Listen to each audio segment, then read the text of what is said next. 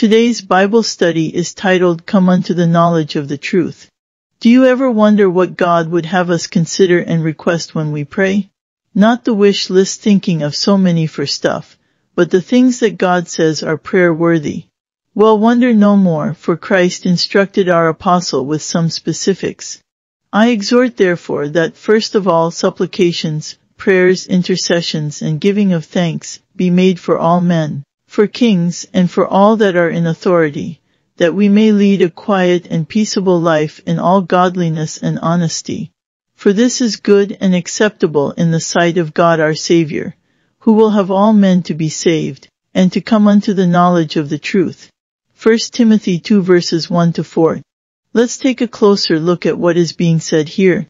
Breaking down the prayer request portion of this, we get first of all that supplications, petition and earnest request, prayers, intercessions, mediation and interposition, and giving of thanks be made for all men, for kings, and for all that are in authority.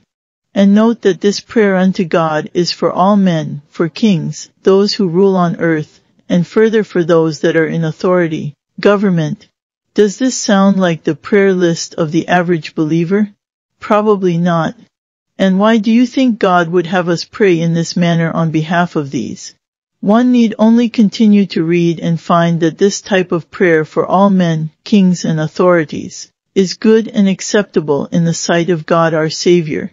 And the reason for this is that number one, God would have all men to be saved, and number two, God would, once saved, have all men come unto the knowledge of the truth.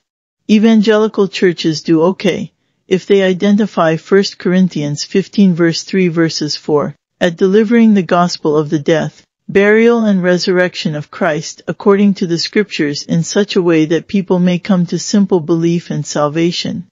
But what about having all men come unto the knowledge of the truth?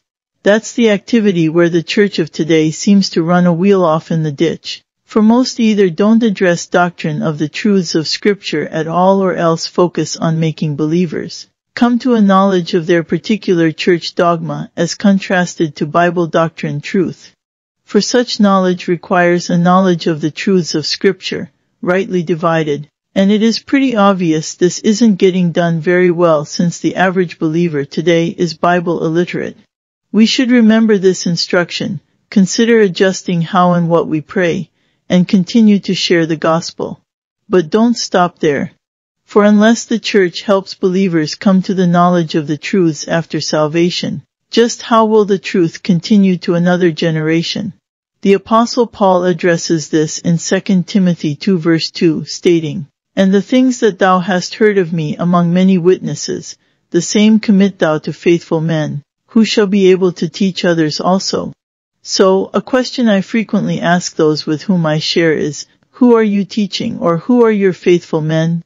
For if you are a student of the word, you should, if possible, have a teacher, if one who understands right division is available, and have one or more learners, with whom the student of the word is sharing what he's learned. This is very important to you for the reasons listed above, but also because you aren't really learning and making what you've learned yours until you are able to articulate what you've learned to someone else. Believer, help others come to the knowledge of the truth.